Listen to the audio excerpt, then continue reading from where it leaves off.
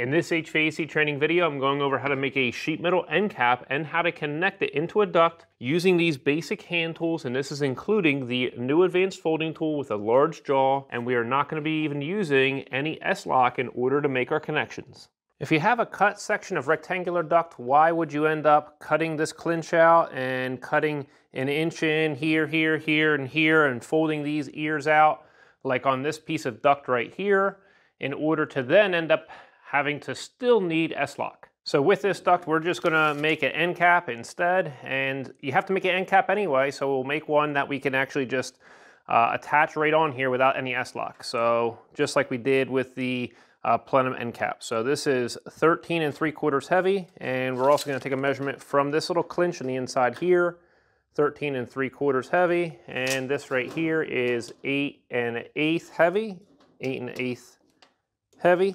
And so what we're gonna do is we're gonna go add two inches to it, so we'll go just a little bit smaller, so we'll go about like 10 inches heavy. And that's, a heavy is just 1 16th of an inch. And then in reference to over here, you see 13 and 3 quarters heavy, we're just gonna add two inches, go a little bit later, so we're gonna go 15 and 3 quarters. So that'll add one inch on all sides so that we can make our bends. So here you see we have 15 and 3 quarters. In this direction, we've got 10 inch heavy, and this is gonna be one inch cut out of the, the edge here. So we need to do that for all four sides.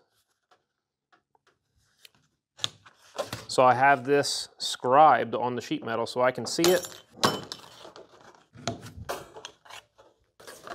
Now we certainly could have used our pocket brake if we left the cardboard underneath of it. But in this case, I'm just gonna use a piece of plywood with a nice crisp edge on it and I'm gonna put the weight of my body on it and then I'm just gonna fold it up. And that's how we're gonna make our cross breaks.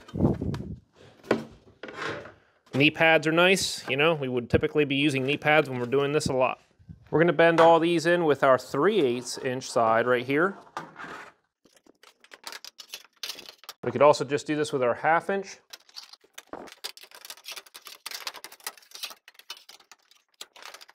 Now we're gonna use our advanced folding tool here. So we just flip it upside down in order to use it.